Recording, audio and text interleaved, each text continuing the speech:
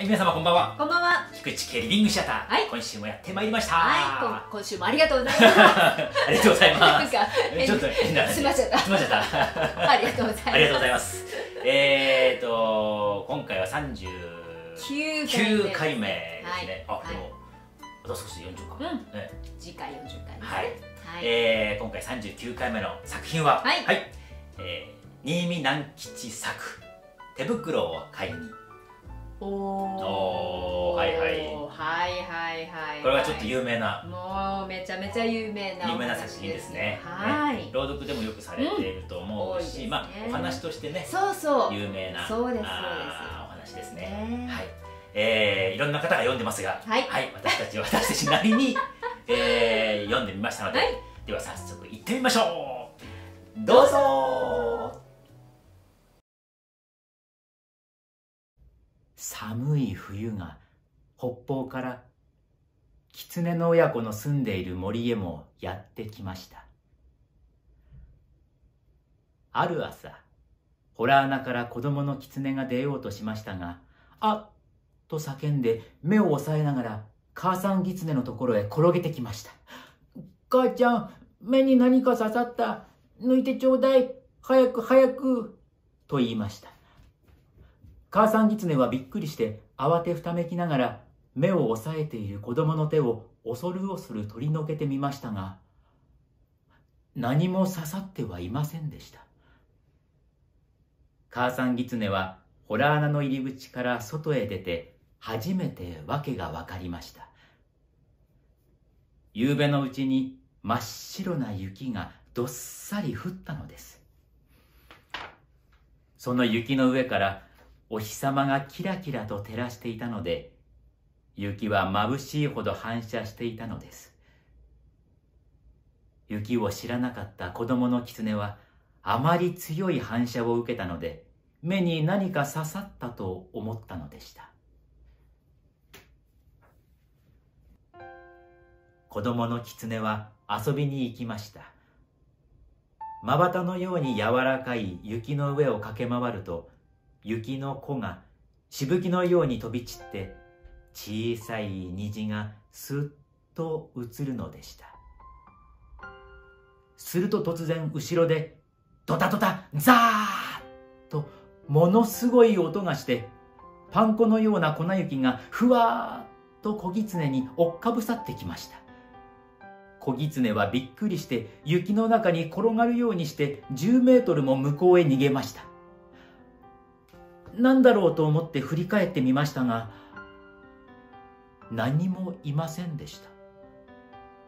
それはもみの枝から雪がなだれ落ちたのでした。まだ枝と枝の間から白い絹糸のように雪がこぼれていました。間もなくホラー穴へ帰ってきた小狐は「お母ちゃんお手手が冷たい。お手手がチンチンする」と言って濡れてボタン色になった両手を母さん狐の前に差し出しました。母さん狐はその手に「はー」と息を吹っかけてぬくとい母さんの手でやんわり包んでやりながらもうすぐ暖かくなるよ。雪を触るとすぐ暖かくなるもんだよ。と言いましたがかわいい坊やの手に霜焼けができてはかわいそうだから夜になったら町まで行って坊やのお手手に合うような毛糸の手袋を買ってやろうと思いました暗い暗い夜が風呂敷のような影を広げて野原や森を包みにやってきましたが雪はあまり白いので包んでも包んでも白く浮かび上がっていました。親子の銀狐はホラー穴から出ました。子供の方はお母さんのお腹の下へ入り込んでそこからまん丸な目をパチパチさせながらあっちやこっちを見ながら歩いていきました。やがて行く手にぽっつり明かりが一つ見え始めましたそれを子供の狐が見つけて、母ちゃん、お星様はあんな低いところにも落ちてるのね、と聞きました。あれはお星様じゃないのよ。と言って、その時、母さん狐の足はすくんでしまいました。あれは町の火なんだよ。その町の火を見た時、母さん狐はある時町へお友達と出かけて行って、とんだ目にあったことを思い出しました。およしなさいって言うのも聞かないで、お友達の狐がある家のアヒルを盗もうとしたので、お百姓に見つかって散々追いまくられて、命からがら逃げたことでした。母ちゃん、何してんの？早く行こうよ。と、子供の狐がお腹の下から言うのでしたが、母さん狐はどうしても足が進まないのでした。そこで仕方がないので、坊やだけを一人で町まで行かせることになりました。坊や、お手手を片方を出し。と、お母さん狐が言いました。その手を母さん狐はしばらく握っている間に、かわいい人間の子供の手にしてしまいました。坊やの狐はその手を広げたり握ったりつねってみたり嗅いでみたりしましたなんだか変だな母ちゃん。これ何？と言って雪明かりにまたその人間の手に変えられてしまった自分の手をしげしげと見つめました。それは人間の手よ。いいかい坊や。町へ行ったらねたくさん人間の家があるからね。まず表に丸いシャッポの看板のかかっている家を探すんだよ。それが見つかったらねトントンと戸を叩いて「こんばんは」って言うんだよ。そうするとね中から人間が少し戸を開けるからねその戸の隙間からこっちの手。ほらこの人間の手を差し入れてねこの手にちょうどいい手袋ちょうだいって言うんだよ。分かったね。決してこっちのお手手を出しちゃダメよ。と母さん狐は言い聞かせました。どうして？と坊やの狐は聞き返しました。人間はね相手が狐だと分かると手袋を売ってくれないんだよ。それどころか捕まえて檻の中へ入れちゃうんだよ。人間って本当に怖いもんなんだよ。ふん。決してこっちの手を出しちゃいけないよ。こっちの方。ほら人間の手の方を差し出すんだよ。と言って母さんの狐は持ってきた二つの白銅貨を人間の手の方へ握らせてやりました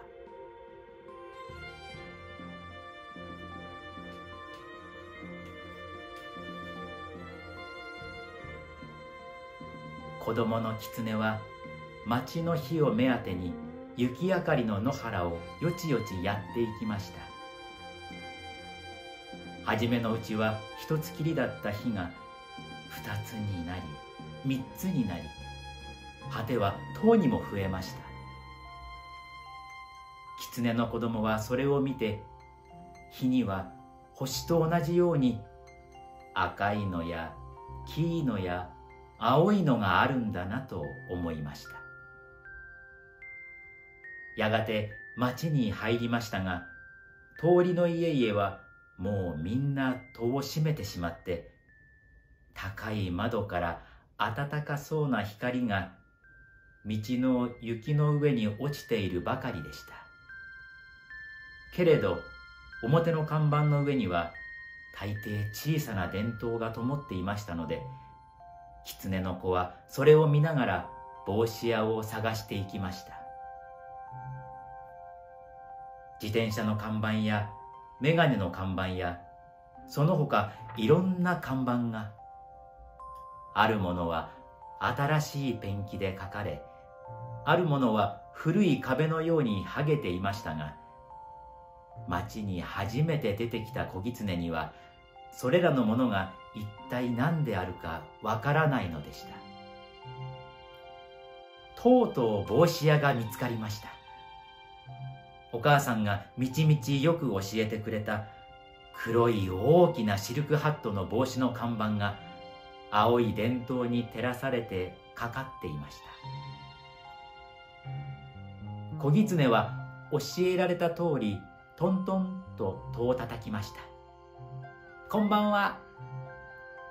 すると中では何かコトコト音がしていましたがやがて戸が一寸ほどごろりと開いて光の帯が道の白い雪の上に長く伸びました。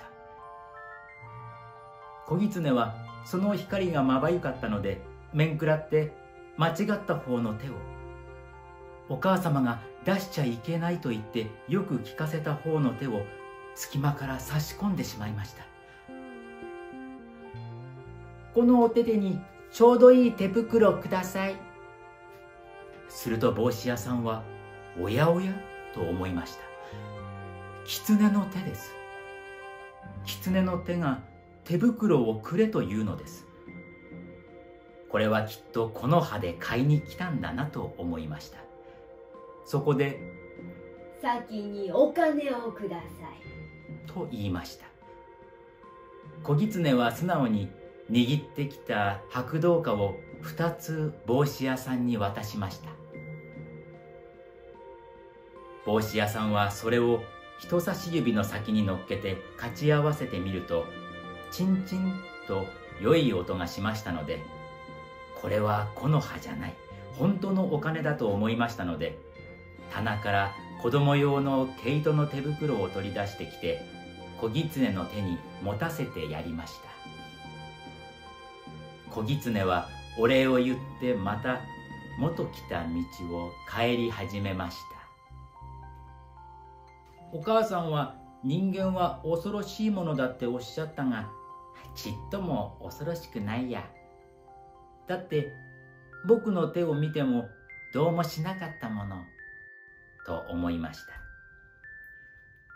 けれど小狐は一体人間なんてどんなものか見たいと思いました。ある窓の下を通りかかると人間の声がしていました。なんという優しいなんという美しいなんというおっとりした声なんでしょう。眠れ眠れ母の胸に眠れ眠れ母の手に小狐はその歌声はきっと人間のお母さんの声に違いないと思いましただって小狐が眠る時にもやっぱり母さん狐はあんな優しい声で揺すぶってくれるからです。すると今度は子供の声がしました。母ちゃんこんな寒い夜は森の小狐は寒い寒いって泣いてるでしょうね。すると母さんの声が森の子狐もお母さん狐のお歌を聞いてホラー穴の中で眠ろうとしてるでしょうね。さあ坊やも早くねんねしなさい。森の子狐と坊やとどっちが早くねんねするか。きっと坊やの方が早くねんねしますよ。それを聞くと小狐は急にお母さんが恋しくなってお母さん狐の待っている方へ飛んで行きました。お母さん狐は心配しながら坊やの狐の帰ってくるのを今か今かと震えながら待っていましたので坊やが来ると温かい胸に抱きしめて泣きたいほど喜びました。2匹の狐は森の方へ帰って行きました。月が出たので狐の毛並みが銀色に光りその足跡にはコバルトの影がたまりました。母ちゃん人間ってちっとも怖かないや。どうして？某間違えて本当のお手手出しちゃったの。でも帽子屋さん捕まえやしなかったもの。ちゃんとこんないい温かい手袋くれたもの。と言って手袋のはまった両手をパンパンやってみせました。お母さん狐はまあ。と呆れましたが本当に人間はいいものかしら？本当に人間はいいものかしら？とつぶやきました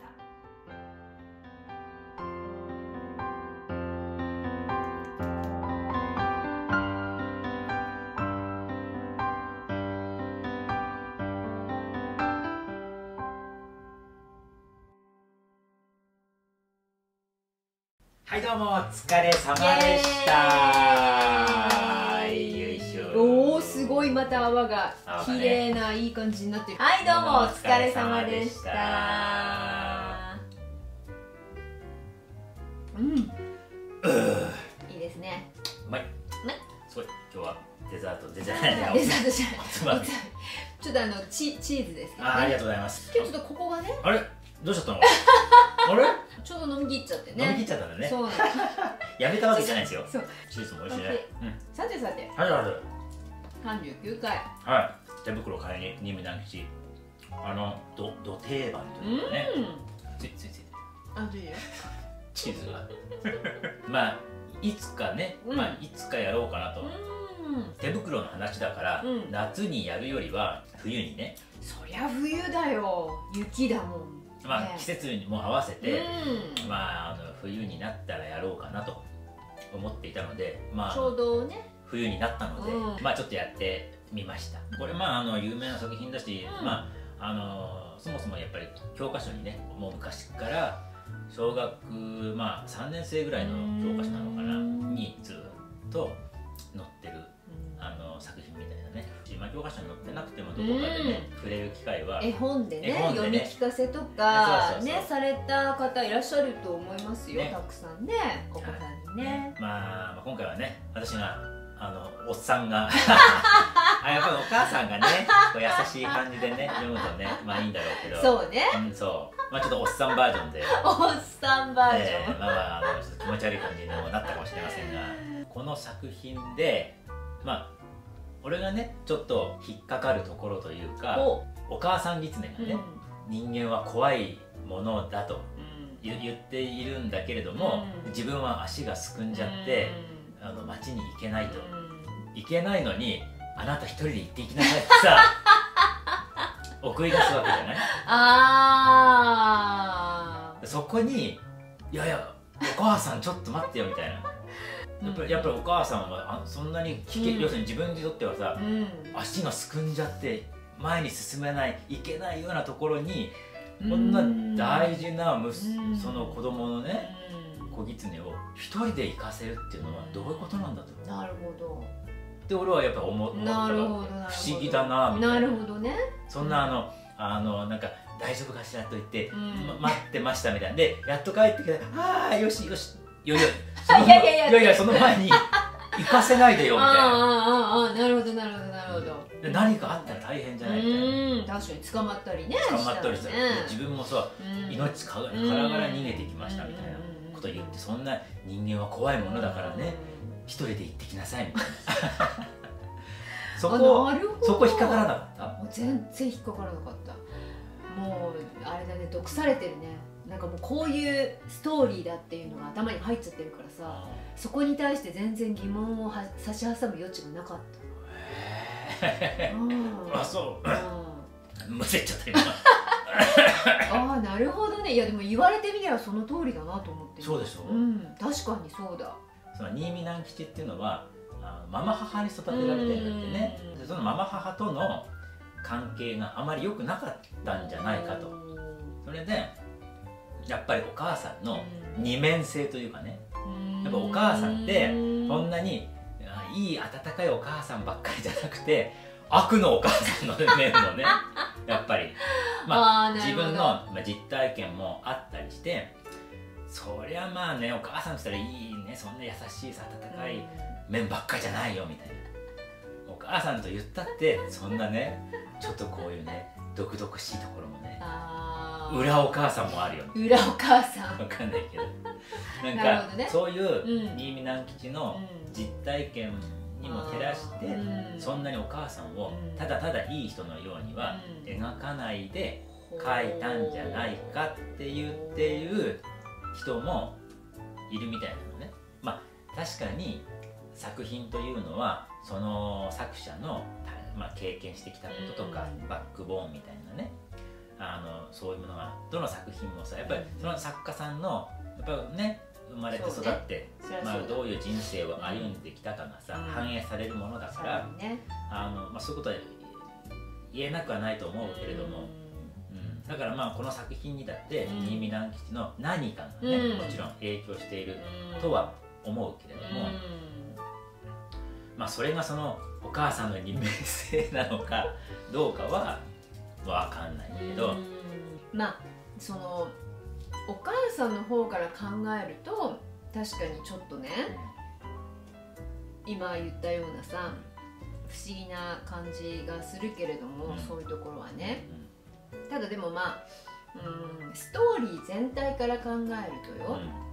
そのまあ新見南吉も、結構ほら体調が、うん。あの人はなかなかうん優れなかったというか、体が弱くて、まあ割と若い頃からそういうものとこう戦ったりとか、まあ、していた人だし何かそのヒーローズジャーニーじゃないけれどもそのまあ年の若いこう小さな弱いものが、まあ、頑張って世の中に出て。うん。でそこで、まあ、ちょっと失敗とかもあるけれども、うん。でもなんとかその使命を果たして帰ってくるっていうところに、何かその自分の思いを託した部分みたいなのはないのかなって今なるほ思った。初めてのお使いみたいな。あーまあまあまあそんなようなそんなようなもんよしやった達成したぜっていうすごいさおその男の子じゃない。そのこ小狐にはものすごい自信になるじゃない、まあね。この後生きていくまあ上でね,、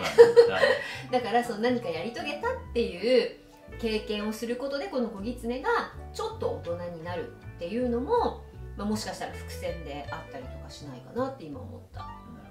まあ、それと、まあ、もう一つは、うん。やっぱ最後の人間ってうん。いいものなのかしらってやっぱりその、まあ、2回繰り返して言うさその言葉にはやっぱそこにも単単なる可愛らしいうん子供向けのお話じゃない、やっぱ新見南吉の人間に対する思いというか、まあ、そういうものがこう反映されているのかなっていうのは、それは人間っていいものなのかっていうその疑問っていうよりも人間っていいものだったらいいってやっぱその人間に対するあの希望というか願いというかね、うん。そういうものであってほしいっていうものが彼の人生とも照らしていろんなことがあったけれどもだけどやっぱり人間はいいものであってほしい自分も含めて自分の生き方も含めてね未来に対する希望とか、うんまあ、そのそういうのがその言葉として最後に書かれて